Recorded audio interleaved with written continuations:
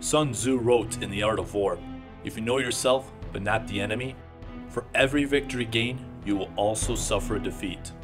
If you decide to be an enemy of Jim Harbaugh, you probably know about his epic intensity and his insane competitiveness. However, if you just know about those two obvious traits, you'll probably suffer some degree of defeats against the 2010 NFL Coach of the Year and possibly an odd moment. 90s Sports Nostalgia presents Jim Harbaugh's craziest moment as an NFL player. And don't forget to kindly please subscribe, give us a like, and check out more 90s Sports Nostalgia material. This epic story of Jim Harbaugh goes back to his playing days as an Indianapolis Colt. The former Chicago Bears quarterback signed as a free agent with the NFL team in the Hoosier State in 1994. During that year's NFL draft, analyst Mel Kiper Jr. lashed out on the Colts for not drafting a quarterback, as the Baltimore native stated this To pass up a Trent Dilfer when all you have is Jim Harbaugh? Give me a break.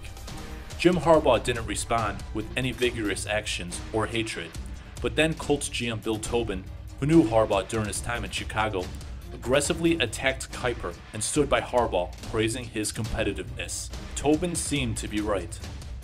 That's because for the 1995 season, Harbaugh was the AFC Player of the Year, runner up in the MVP voting, and overachieved by leading the Colts to the AFC Championship game.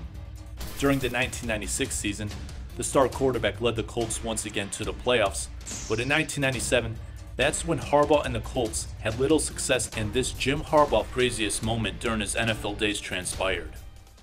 After the Colts lost their first seven games, former Buffalo Bills quarterback Jim Kelly, who was retired and working in broadcasting at the time, criticized Harbaugh. According to a Los Angeles Times report, Jim Kelly called Harbaugh a baby and suggested that Harbaugh over-dramatized his injuries.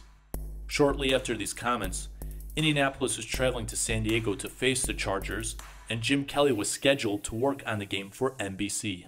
But during an NBC production meeting, Harbaugh showed up uninvited and confronted Kelly. According to the Detroit Free Press's Mitch Albom, Harbaugh and Kelly went into a room to discuss the matter. Harbaugh then told Albom about the isolated meeting, saying, I hit him. I threw a couple of punches. Sometimes you have to stand up for what you believe in. The former Michigan Wolverine standout was already forced to miss the San Diego game due to an ankle injury, but had to miss three more games after breaking a bone in his hand due to punching Jim Kelly, who spoke downwardly about Jim Harbaugh on a local TV show. Harbaugh also said, I regret throwing the punch, but I felt I had to do something since my toughness was being questioned. I regret that I have a crack in one of my bones in my hand.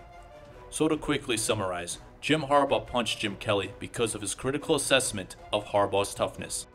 Yes, we all know to a certain degree about Jim Harbaugh's unprecedented intensity and competitiveness, but the toughness aspect is who Jim Harbaugh is when it comes to football. Harbaugh preaches to his teams to be the most physical, to be the toughest mentally and physically. Furthermore, with the fullback arguably being an endangered position, Harbaugh goes against modern football wisdom and remains extremely fascinated with the physicality of the fullback position. Moreover, former 49ers guard Alex Boone thought Jim Harbaugh might be clinically insane because of how much he pushed guys to be tough and determined. When Jim Harbaugh said this quote, and was forced to miss more games due to this punch, it may appear to several that Harbaugh only regrets throwing the punch because of the consequences of being injured and missing games. Meaning in Harbaugh's mind, he did the right thing because his football soul, the place where Harbaugh's football sensitivity dwells, was being questioned and attacked. If you believe in Sun Tzu's wisdom of knowing yourself but not the enemy will result in defeat, make sure to understand to never question Jim Harbaugh's toughness if you choose to be against Jim Harbaugh. Otherwise, Sun Tzu's prophecy might come true again.